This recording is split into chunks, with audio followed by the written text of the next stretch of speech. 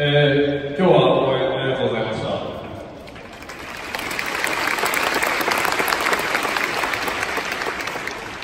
えーまさかこんな試合の後に生徒本人がやることだと思ってなかったので、えー、親に申し訳ないし、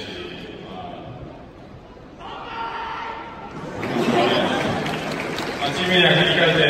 えーまあ、連敗を止めてもらうように頑張ってもらいたいです。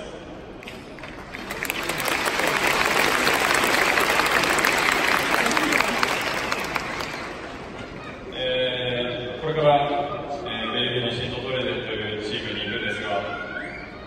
えーまあ、難しいことだらけだと思うんで、まあ、今まで何回も挫折をしてきたように、これからも挫折をたくさん味わうことだろうと思います。まあ、でも、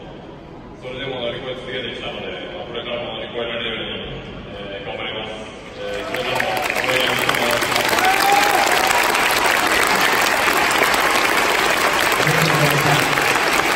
それでは、鈴木学院選手、サポーター選手のそれぞれの心を込めた寄せ書きフラッグを贈呈いたします。